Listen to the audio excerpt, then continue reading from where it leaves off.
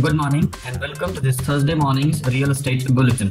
The main points are with the government announcing a host of incentives and tax benefits for affordable housing projects to support its goal of housing for all by 2022, realty developers are coming up to build more compact homes with some even tweaking their plans and reconfiguring the proposed projects into affordable homes. For example, Mumbai-based realty developer Paradigm Realty has modified its project in Borivali suburb with all 400 apartments of one bedroom configuration. The developer offered apartments with 350 to 380 square feet carpet area at 60 to 63 lakhs. Similarly, Bangalore-based builder Krishna Homes recently reconfigured its project in Electronic City to affordable homes from mid-segment. Earlier, the project had apartments spread over 900 square feet and was priced at rupees 40 lakhs each, but will now be priced at rupees 28 lakhs spread over 750 square feet.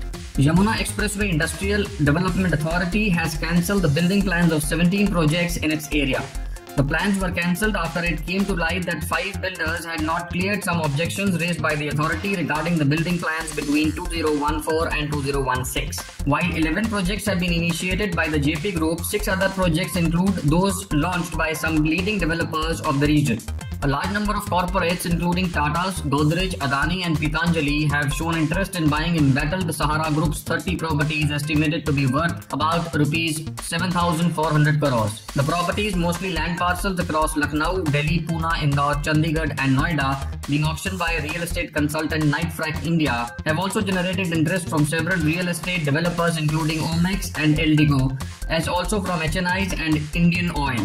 Besides, Chennai-based Apollo Hospital has shown interest in acquiring Sahara Hospital in Lucknow. Realty developer Hiranandani Communities have forayed into development of leisure homes in two of its projects in Khandala and Alibag near Mumbai. The developer so far known for destination developments is planning to invest 6,000 crores in this venture. The company will develop its 800 acres in Khandala and 250 acres in Alibag in several phases. That's all we have in today's bulletin. See you tomorrow morning. Take care against the heat wave. Good day.